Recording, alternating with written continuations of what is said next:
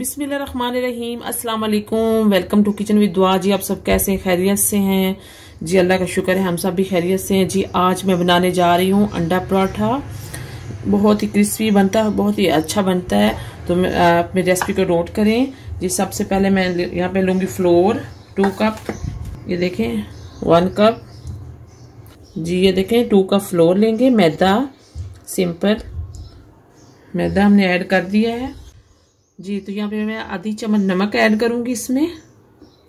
जी तो ये मेरे पास थोड़ी सी अजवैन है, ये मैं ऐड कर दूँगी। जी तो मैं इसमें एक चम्मच ऑयल ऐड कर दूँगी। जी तो यहाँ पे देखिए, ये मेरे पास एक कप पानी है, ये ना गर्म है और ना ठंडा है, नॉर्मल पानी मैंने लिया है। ठंडा नहीं लेना पानी आपने, और इससे मैं अब इसमें ऐड कर दूँगी।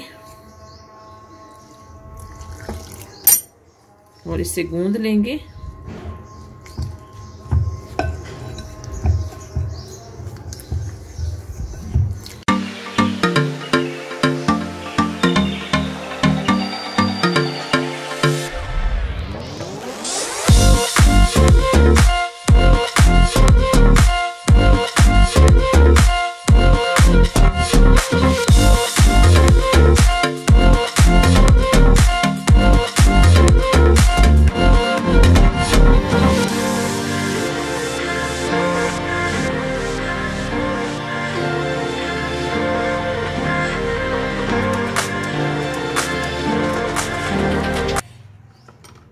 जी तो ये देखिए आटा मैंने गूंद दिया है और अब इसे 10 मिनट के लिए रेस्ट देंगे और इसको मैं ऊपर से कवर कर दूँगी 10 मिनट के लिए।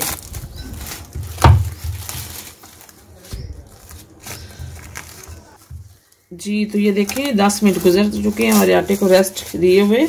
अब इसे मैं थोड़ा सा गूंद लूँगी, थोड़ा सा पानी लगा के। ये देखिए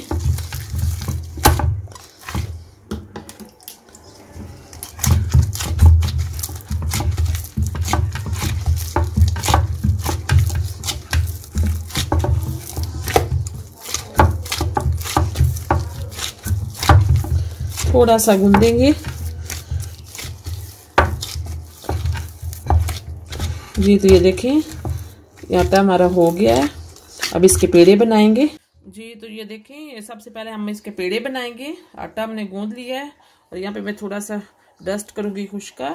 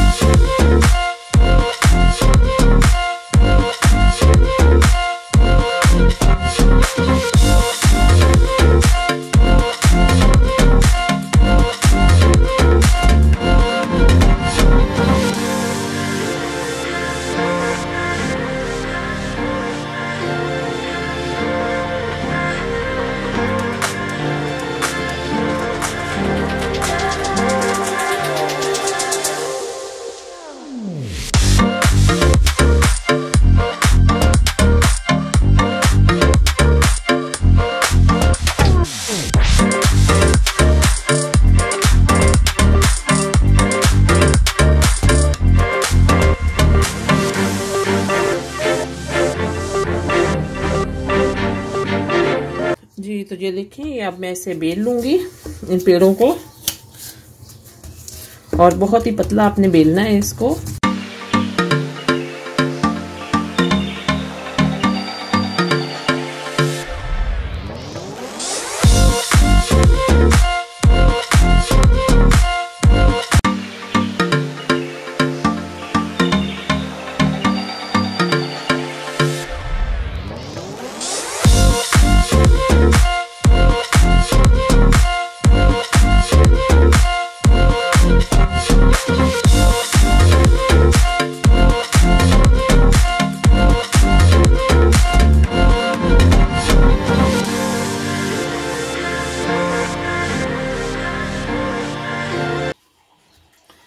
जी तो ये देखिए, ये हमने बेल ली है रोटी, और अब इसके ऊपर मैं बटर लगाऊँगी ब्रश की मदद से।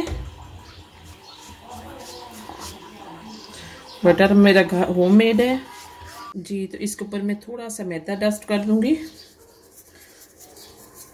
इस तरीके से, ये देखें अब इसको मैं फोल्ड कर लूँगी। ये देखें इस तरह से। आपने फोल्ड करना है इसको।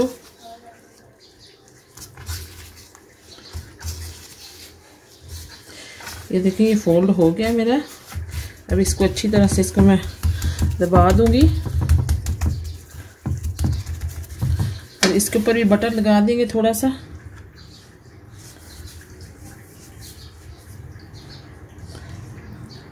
ये देखिए, और इसके ऊपर मैदा डस्ट कर दूँगी थोड़ा सा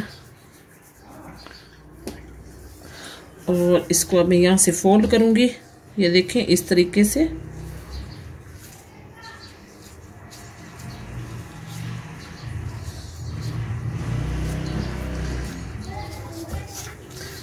ये देखें।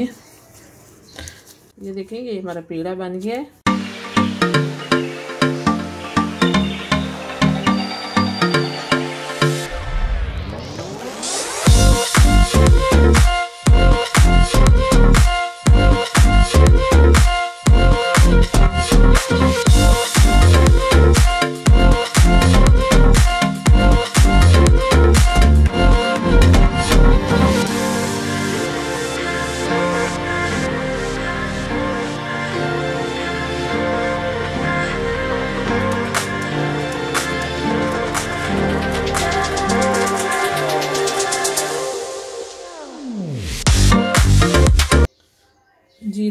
ये पेड़े मैंने रेडी कर लिए हैं। इसके अंदर बटर लगाया है और थोड़ा सा मैदा डाल के, इसको रोटी बना के, फिर इसको हमने दोबारा से पेड़े बनाए हैं। अब ये रेडी हो चुके हैं पराठों के लिए। अब मैं अंडे फेंट लेती हूँ पराठों के जी तो यहाँ पे मैंने बॉल लिया है एक और इसमें मैंने अंडे तोड़ूँगी अब। ये मेरे पास तीन अंडे हैं।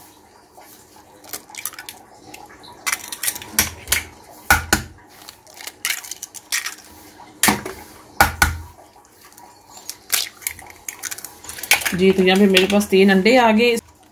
जी तो यहाँ पे आ जाएगा इसमें आधी चम्मच नमक लाल मिर्च का पाउडर और आधी चम्मच जाएगी इसमें काली मिर्च।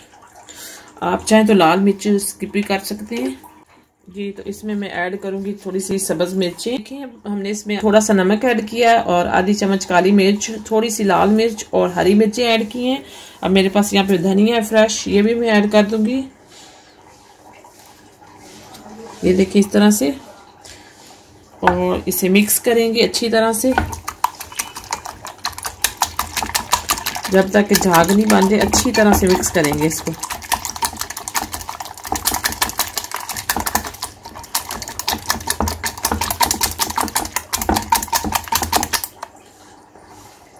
जी तो ये देखिए, अंडे हमारे मिक्स हो चुके हैं। अब इनको मैं साइड पे रख दूँगी।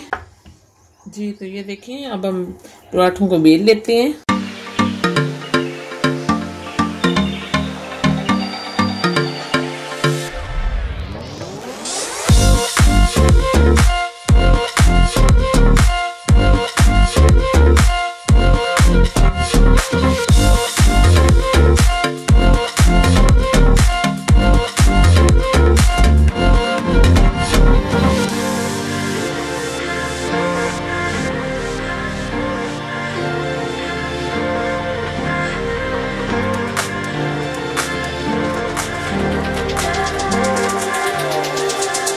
जी तो ये देखिए ये मैंने बेल लिया पराठा, ये आपने ज़्यादा बारीक भी नहीं करना और ज़्यादा मोटा भी नहीं, बिल्कुल नॉर्मल साइज़ का मैंने रखा है। जी तो थोड़ा ये देखिए मैंने रखा है तवे को मीडियम स्लो फ्लेम पे और यहाँ पे मैं थोड़ा सा ऑयल लगा लूँगी। बटर थोड़ा सा लगा लूँगी सॉरी ये बटर मैंने लगा दिया है। अब मैं इसके ऊपर पराठा डालूँगी। ये देखें, पराठा हमारा जो है, ये ये देखिए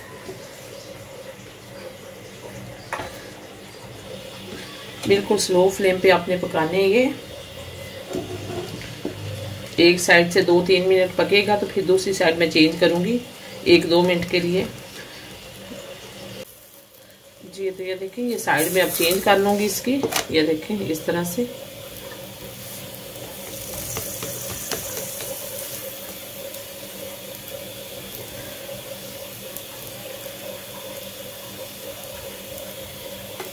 ये देखिए सारे पराठे मैं इसी तरह से बना लूँगी हाफ़ कुक करेंगे इसको। ये देखें, इस तरह से, इस स्टेज पे आप चाहें तो फ्रिज में भी रख सकते हैं, इतने बना के, फिर चाहे तो जब गर्म करें और बच्चों को तैयार करके दें। ये मैं साइड पे रखूँगी, सारे में इस तरह कुक कर लूँ जी तो यहाँ पे मैं देखिए मैं थोड़ा सा बटर ऐड करूँगी। और इसमें मैं आप डालूँगी अंडा।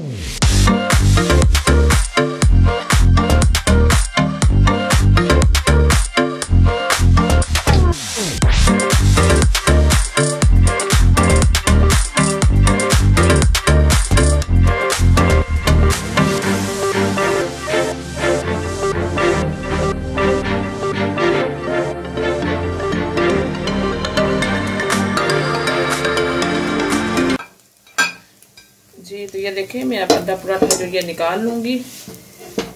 ये देखें, ये जो हमारा पराठा है, ये देखें, बिल्कुल क्रिस्पी बना है और बहुत ही मज़े का बना है। ये देखें।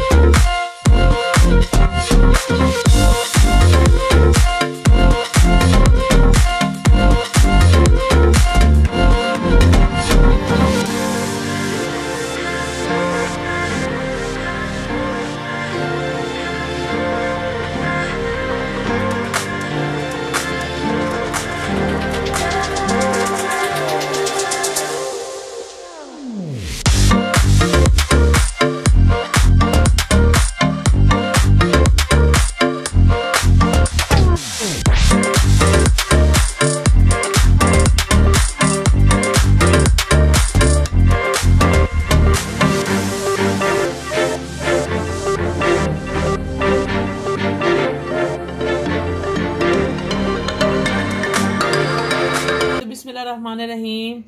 जी तो जो आज की हमारी रेसिपी अंडा पराठा, ये रेडी हो चुके हैं। ये देखें, बहुत ही अच्छे बने क्रिस्पी बने हैं। मेरी रेसिपी को ज़रूर ट्राई करें। मेरे चैनल को सब्सक्राइब करें। Thank you